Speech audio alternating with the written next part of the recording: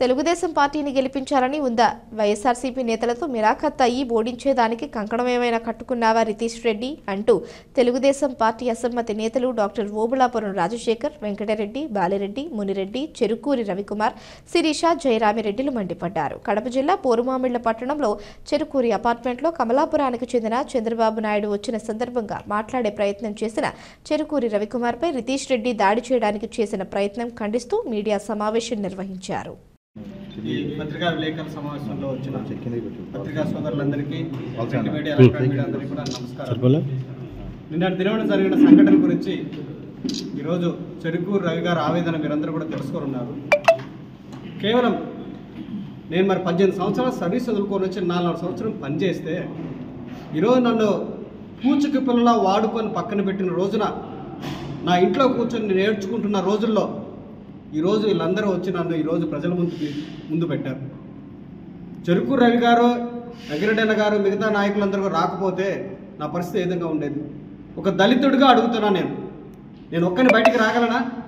నేను బ- నేను ఒక్కడిని ఎవరైనా ఎదుర్కోగలనా? నా సమస్యను నేను బయటికి చెప్పుకోగలనా? ఈరోజు ప్రజలందరి ముందు వచ్చి చెప్పుకోవడానికి నాకు ఇచ్చిన వెన్నుదన్ను వీళ్ళందరూ. ఈరోజు ఆ విధంగా భౌతిక దాడికి పురిగొల్పడము భౌతిక దాడి చేయడానికి ప్రయత్నం చేయడం అనేది ఒక పెద్ద నాయకుడిగా ఇది మంచి పద్ధతి కాదని కూడా మేము తీవ్రంగా ఖండిస్తున్నాం. వీరారెడ్డి గారి మనవడు అంటే మేము ఒక స్టాండర్డ్ ఆ స్థాయిలో చూస్తాం మేము. విజయమ్మ గారి కొడుకు అంటే మేము ఎంతో గౌరవిస్తాం మేము. మేము కూడా వాళ్ళతో కలిసి నడిచాం. కాబట్టి అందరం కూడా కుటుంబ సభ్యులమే. ఈ విధంగా భౌతిక దాడులు చేయడం అనేది ఇది మంచి పద్ధతి కాదు అని కూడా ఈ సందర్భంగా తెలియజేస్తున్నాము. ఒక పెద్ద ఫ్యామిలీ నుంచి వచ్చిన వ్యక్తి అది చూసినప్పుడు చుట్టుపక్కల వాళ్ళు కూడా ఇంకా భౌతిక దాడికి పురుగొల్పినట్టే కదా. తనే చేయేస్తున్నాడంటే మిగతా వాళ్ళు కూడా ఈజీగా మిగతా వాళ్ళు కొట్టడానికి కూడా ముందుకు వస్తారు కదా. ఇది ఎంతవరకు సమంజసం? ఇదే భౌతిక దాడి నా దాకా వస్తే ఒకసారి మీరు ప్రజలందరూ ఆలోచించండి. ఒక దళితుడిగా ఉండి నేను ఎదుర్కోగలనా? నేను దాన్ని మరి సమర్థవంతంగా ముందుకు వెళ్ళగలనా? ఇది ప్రజాస్వామ్య దేశం ఇది. ఇది ప్రజాస్వామ్యం. ఎస్సీ రిజర్వ్డ్ కాన్స్టిట్యున్సీ ఒక దళిత నియోజకవర్గంలో దళితులకు వాయిస్ ఉండాలా? ఆ వాయిస్ లేదనే ఇంతమంది నా నన్ను ముందు వచ్చి నడిపిస్తున్నారు. ఈరోజు ఒక దళితులు కూడా నా వెనకుండి నడిపించలేని పరిస్థితిలో నేను ఉన్నాను అంటే అర్థమైంది? నువ్వు వాళ్ళనే దాడి చేస్తే ఇప్పుడు రేపు నా మీద దాడి జరగదా? నా నా వెనుక ఎవరున్నారని? అందుకే ఈ సందర్భంగా ఈ నియోజకవర్గంలో ఉన్న ప్రతి దళిత సంఘానికి మరి దళిత ఓటరుకు బడుగు బలహీన వర్గాలకు నేను ఒక్కసారి నేను గుర్తు చేస్తున్నాను. నేను తెలుగుదేశం పార్టీకి విజయమ్మ గారి కుటుంబానికి ఊడిగం చేసే నాలుగున్నర సంవత్సరం. నా ఉద్యోగాన్ని రాజీనామా చేసుకొని వచ్చాను నేను. నేను కేసులు పెట్టించుకున్నా ప్రతిపక్ష పార్టీలో ఉండి ఎన్నో ఇబ్బందులు ఎదుర్కొన్నా ప్రాక్టీస్లో కూడా ఇబ్బందులు ఉన్నా కూడా నేను ధైర్యంగా ఎదుర్కొన్నా. అయినప్పటికీ కూడా ఈరోజు నన్ను గుర్తించకుండా ఒక పూచిక్కుల్ల వాడుకొని పక్కన పడేస్తున్నప్పుడు మరి దళితులారా ఒకసారి ఆలోచించండి. ఈరోజు నాకు జరిగిన అన్యాయం రేపు మీ దాకా వస్తుంది. తెలుగుదేశం పార్టీలో ఒక దళిత నాయకుడు ఎవరో? పేరు చెప్పండి చూద్దాం. మరి పదిహేను సంవత్సరాలు అయింది దళిత నియోజకవర్గమై ఒక నాయకుని కూడా తయారు చేసుకోపోలేకపోయారా మీరు? ప్రతిసారి మార్చుకుంటూ పోతే ఎట్ట దళిత నాయకులు తయారవుతారు? ఎట్ట దళిత అభ్యర్థి మీకు తయారవుతారు? మీరు మాత్రం ఉండాలి ఇరవై సంవత్సరాల నుంచి స్టాండర్డ్గానే మేమైతే మారిపోతూ ఉండాలి. మరి మా మా కుటుంబాలు రోడ్డు పాలవ్వడం మరి మీకు ఇష్టమా? చెప్పండి మాకు కూడా కుటుంబాలు ఉంటాయి పిల్లలు ఉంటారు వైఫ్ ఉంటారు. మా ఆర్థికంగా కానీ సామాజికంగా కానీ ఎంతో ఇబ్బందులు పడి మేము ఈ స్థాయికి వచ్చామంటే ఈరోజు మమ్మల్ని వాడి వదిలేస్తే ఎట్లా అని నేను ఈ సందర్భంగా నేను ప్రశ్నిస్తున్నాను. కాబట్టి రేపు రాబోయే రోజుల్లో నా మీద కూడా దాడి జరగచ్చేమో. మరి ధైర్యంగా నేను కూడా ముందుకు రావాలంటే నా దళిత సోదరులారా నా బడుగు బలహీన వర్గాల ప్రజలారా మీరందరూ కూడా ఆలోచించండి. ఈరోజు నేను ఈ విధంగా పనిచేస్తున్నప్పుడు వీళ్ళే కాకుండా అదృశ్యంగా కూడా చాలామంది నాకు ఫోన్లు చేస్తున్నారు. ఇందులో ఎంతోమంది కూడా ఓసీ కమ్యూనిటీ నుంచి ఉన్నారు దళిత కమ్యూనిటీ ఇచ్చినారు వాళ్ళు కూడా నువ్వు చేసేది న్యాయమో నువ్వు అడిగేది న్యాయమో అడుగు అని కూడా అడుగుతున్నారు నన్ను. కాబట్టి ఆ- వాళ్ళ యొక్క అదృశ్య ఎంతోమంది అదృశ్య శక్తులు కూడా నాకు సహాయంగా ఉన్నారు. రేపు రాబోయే రోజులు వాళ్ళు కూడా బయటికి రావాలని ఈ సందర్భంగా నేను వాళ్ళకి రిక్వెస్ట్ చేస్తున్నాను. మీరు ఎంతోమంది నాకు ఫోన్లు చేసి సహాయం చేయడం కాదు. బయటకు వచ్చి ప్రశ్నించండి. మరి నాకు అన్యాయం జరగలేదా? గతంలో ఉన్న వాళ్ళకి అన్యాయం జరగలేదా? ఒక్కసారి అన్యాయం జరిగితే ఏదో క్షమించవచ్చు. రిపీటెడ్గా చేసుకుంటా పోతే ఇంకా మాకు ఎలా లైఫ్ ఉంటుంది రాజకీయంగా? ఎలా మేము రావాలి బయటికి? కాబట్టి ఒకసారి నన్ను నా కోసం అడిగినందుకు మీరు భౌతిక దాడులు చేస్తే ఇది సమంజసమా అని ప్రశ్నిస్తున్నాను. దళిత సోదరులారు ఒకసారి ఆలోచించండి. దళిత నియోజకవర్గంలో నా కోసం నిలబడిన వాళ్ళకు మీరు దాడులు చేస్తున్నారంటే రేపు నా మీద కూడా దాడులు చేస్తారేమో. మరి దళిత సోదరులారా ఒకసారి ఆలోచించి ఈ విషయం మీద మీరు కూడా నాకు వెన్నుదన్నుగా ఉండవలసిందిగా ఈ సందర్భంగా మీకు నేను గుర్తు చేస్తున్నాను. రెండవదిగా ఆయన మీద దాడి చేస్తున్నారేమో నా మీద అయితే వ్యక్తిత్వం మీద దాడి చేశారు. నా వ్యక్తిత్వాన్ని హరణం చేశారు. ఎలాగంటే చంద్రబాబు నాయుడు దగ్గర నేను రెండు వేల పంతొమ్మిది నుంచి సైలెంట్గా ఉన్నానని అబద్ధాలు చెప్పారు. నేను సైలెంట్గా ఉన్నానా? నూట పదిహేడు నూట పదిహేడు ప్రెస్ మీట్లు దాకా పెట్టాను నేను. కేసులు పెట్టించుకున్నాను నేను. నా ప్రాక్టీస్ వదిలి తిరిగాను. మరి నేను తిరగ పార్టీలో పనిచేయలేదా? మరి అక్కడున్న రాబిన్ శర్మ టీంకి నా మీద ఏం రిపోర్ట్ ఇచ్చారంటే నేను బద్దెల్లోనే ఉండడం లేదంట. నేను నా ఓపీ రికార్డ్స్ చూపిస్తాను. నేను చూ నేను రెండు వేల పద్దెనిమిది నుంచి నేను చూసిన ఓపీ రికార్డ్ నేను బద్దెల్లో లేనా అని అడుగుతున్నాను నేను. ఇప్పుడు అలాగే మా భార్యను నన్ను పిలిచారంట మా భార్య వద్దని చెప్పారంట. ఎంత అసహ్యంగా ఇంత దిగజారుడుగా మరి మా ఇంటి వాళ్ళని కూడా బయటికి తీసుకొచ్చి మాట్లాడుతున్నారంటే నా వ్యక్తిత్వ హననం కాదా ఇది? నేను డబ్బులు పెట్టుకోనని కూడా దుష్ప్రచారం చేస్తున్నారు ఒక భూమి వివాదం అని కూడా ప్రచారం చేస్తున్నారు తప్పండి. అమ్మిన నేను కొన్న వాళ్ళు భూమి వివాదం ఉందని చెప్పాలా? మా ఇద్దరం ఎవరూ లేదని చెప్పినప్పుడు మీరు ఏ విధంగా భూ వివాదం అనేది దీన్ని ప్రజల్లోకి తీసుకుని దుష్ప్రచారం చేస్తారు? కాబట్టి ఈ సందర్భంగా కూడా ఎవరైతే నా పొలం కొన్నారో నేను వాళ్ళ పేరు ఇక్కడ చెప్పకూడదు కాబట్టి పర్మిషన్ లేకుండా వాళ్ళు నాకు వద్దని చెప్పమని నేను వెళ్ళిపోతా. వాళ్ళు నాకు ఇష్టం లేదు రాజశేఖర్ అని చెప్పనంటే పెద్ద మనిషి నేను వెళ్ళిపోతాను ఆయన పెద్ద ఆయన నేను ఆయన రిక్వెస్ట్ చేసుకున్నా. ఆయన కూడా వెళ్ళి మాకు రాజశేఖర్ అంటే అభ్యంతరం లేదు చెప్పినా కూడా ఇంకా భూ వివాదం చెప్పి నా వ్యక్తిత్వాన్ని హననం చేస్తాను కాబట్టి వీళ్ళు భౌతిక దాడులు చేయడము వ్యక్తిత్వ దాడులు దాడులు చేయడము ఈ విధంగా బెదరగొడితే వెళ్ళిపోతారనడం తప్పు. మళ్ళీ ఒకసారి మళ్ళీ ఒకసారి నేను దళితులకు నేను విజ్ఞప్తి చేస్తున్నాను. మీరు వాయిస్ మీరు నా కోసం సపోర్ట్గా నిలబడండి. నాకు చేసిన అన్యాయాన్ని ప్రశ్నించండి. దళిత నియోజకవర్గంలో దళితుల భాగస్వామ్యం ఉండాలి వాళ్ళ వాయిస్లో ఉండాలి రాజకీయంగా కూడా ఉండాలని కూడా ఈ సందర్భంగా నేను గుర్తు చేస్తూ మరి ఒక్కసారి నితీష్ రెడ్డి గారు మీరంటే మా గౌరవం. విజయమ్మ గారు మీరంటే మా గౌరవం. దయచేసి విజయమ్మ గారికి సందర్భంగా ఒక రిక్వెస్ట్ చేస్తున్నాను. మీరు పగ్గాలు చేపట్టండి. ఈ పరిస్థితులు మాకందరికీ ఈ సం- ఈ పరిస్థితులు రావడానికి కారణము మీ కుమారుడే. దయచేసి ఆయనైనా సరిదిద్దండి లేదంటే మీరు పగ్గాలు చేపట్టనైనా సరిదిద్దండి. లేదంటే అధిష్టానమైన దీంట్లో జోక్యం చేసుకోండి. నా జరిగిన అన్యాయాన్ని ప్రజాస్వామ్యబద్ధంగా ప్రశ్నించడం తప్ప. ఇది వీరారెడ్డి గారు ఏమన్నా ఇంతకుముందు ఆ విధంగా చేసేవారా భౌతిక దాడులు? ఆయన రాజకీయ వారసులుగా ఇదా మీరు చేసేది? కాబట్టి మరొకసారి ఈ విధంగా ఈరోజు రవి రవి గారి జరిగింది మేము చాలా తీవ్రంగా ఖండిస్తున్నాము. రాబోయే రోజుల్లో ఇంకా కూడా మరి ఉధృతం చేస్తాము. ఈ విధంగా భౌతిక దాడులు చేస్తే ఒకే పార్టీలో ఉండి చేస్తే అది అభాస్పాలు అవుతాము కూడా ఈ సందర్భంగా గుర్తు చేస్తూ మరొకసారి దీని అధిష్టాన్ని కూడా పరిశీలించవలసిందిగా మేము పత్రికాముఖంగా కూడా నేను విజ్ఞప్తి చేస్తున్నాను. తెలుగుదేశం పార్టీ అన్ని మండలాల నుంచి నాయకులందరికీ కూడా హృదయపూర్వక ధన్యవాదాలు తెలియజేస్తున్నాను. మళ్ళీ నిన్న కమలాపురము రా కదలిరా అనే ప్రోగ్రాంకు మా జాతీయ అధ్యక్షులు వారు గౌరవనీయులు శ్రీ నారా చంద్రబాబు నాయుడు గారు ఈ ప్రోగ్రాంకు జరిగింది. మళ్ళీ మాతోపాటి కలిసి ప్రయాణం చేస్తున్నటువంటి చిలుకూరు రవి గారు నిన్న అక్కడికి పోయి పెద్ద ఆయన కలవడం జరిగింది. మళ్ళీ అతని ఇన్ఫ్లుయెన్స్తో పెద్ద ఆయన కలవడము ఇక్కడ జరిగే పరిణామాలు అక్కడ వివరించడం జరిగింది.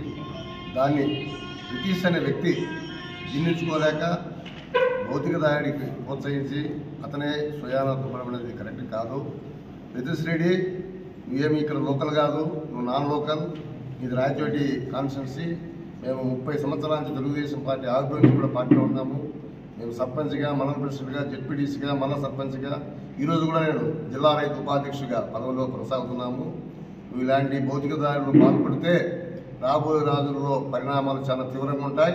ఈ నియోజకవర్గంలో నువ్వు తిరగలేవు.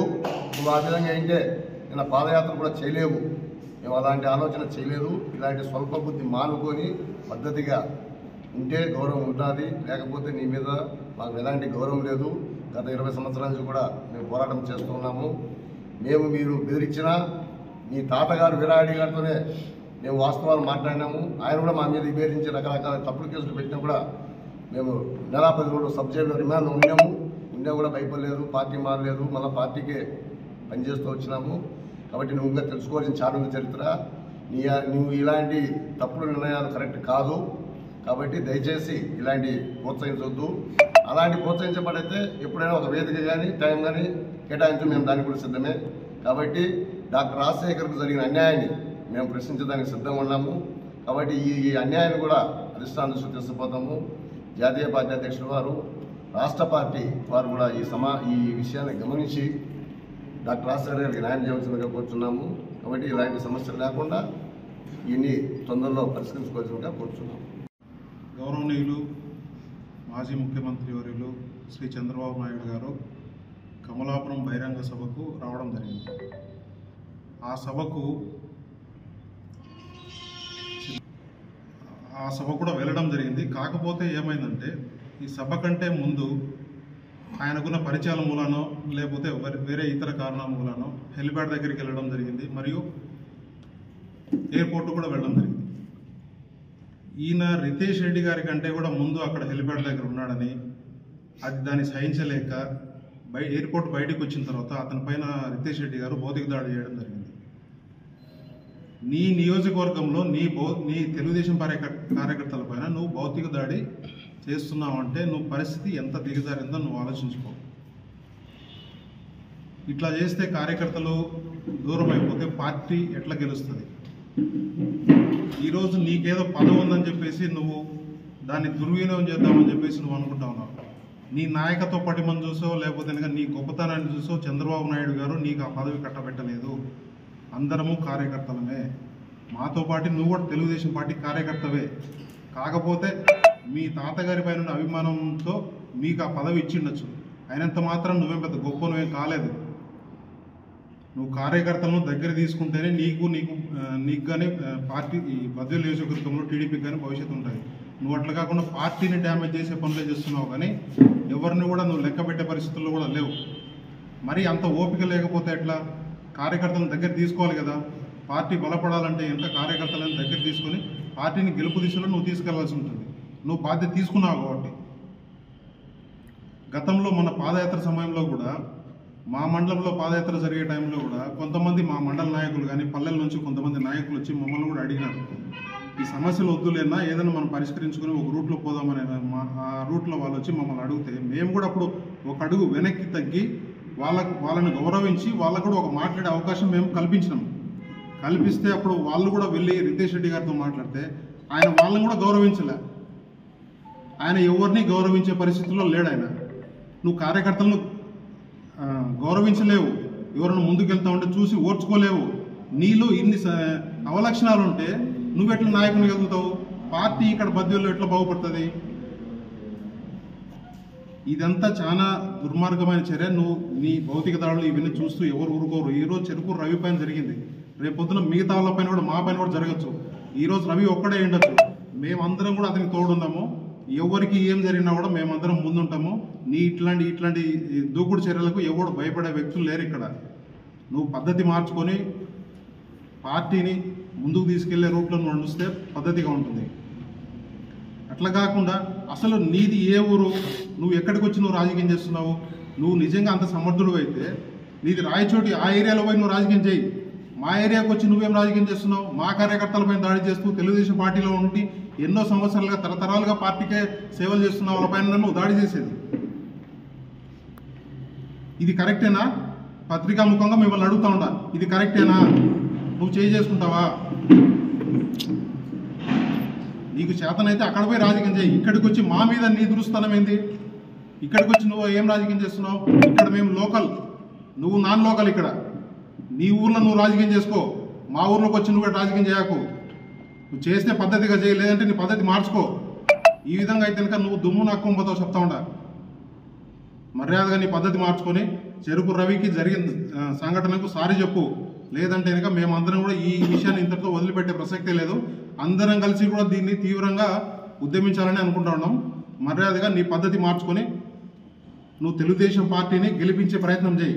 నువ్వు ఇట్లా కార్యకర్తలను దూరం చేసుకుంటూ పోతే ఎవరిని కూడా దూరం దగ్గర చేసుకోలేవు విస్మరి ప్రతి ఒక్కరిని విస్మరిస్తూ పోతే నీకు అసలు మనసులో టీడీపీని గెలిపించాలనే ఆలోచన ఉందా లేదా? ఎందుకు ఈ విధంగా ఈ రకంగా అందరి కార్యకర్తలను కానీ పెట్టుకున్న మొన్న కంటెస్ట్ చేసిన క్యాండిడేట్ కానీ అందరినీ అవమానపరుస్తూ ఉన్నాం దయచేసి రితేష్ రెడ్డి గారు నీ పద్ధతి మార్చుకోండి. పద్ధతి మార్చుకొని మర్యాదగా పద్ధతిగా రాజకీయం చేయండి. లేదంటే కనుక అందరము ఇబ్బంది పడతాము తెలుగుదేశం పార్టీని పిలిపించుకొని తీసుకుని పోతేనే చంద్రబాబు నాయుడు గారిని మనం ముఖ్యమంత్రిని చేసుకోగలం. లేదంటే మాత్రము ఈ ఒక్క సీటు పోయినా కూడా అది పార్టీకి నష్టమే. నీ మూలంగా పార్టీ నష్టపోతుందంటే కనుక అది పార్టీ అధిష్టానం కూడా గుర్తించి దానిపై తగిన చర్య తీసుకోవాలని చెప్పేసి ఈ పత్రికా ముఖంగా నేను పార్టీ అధిష్టానాన్ని కూడా నేను డిమాండ్ చేస్తా ఉన్నాను. గిద్దలూరు పోతున్నప్పుడు చంద్రబాబు నాయుడు గారికి భారీ గజమాలతో ఆయన్ను చూసుకోవడం జరిగింది. ఆ రోజు నుంచి మనసులో విద్వేషాలు రగలబెట్టుకొని ఇతను పై స్థాయికి వెళ్తాడని ఒక కుళ్ళు కుతంత్రాలతో ఇలాంటి ధోరణికి పాల్పడుతున్నాడు. ఇటీవల కాలంలో జరుగుతున్నటువంటి తెలుగుదేశం పార్టీలో జరుగుతున్నటువంటి అన్ని స- మీకు తెలుసు.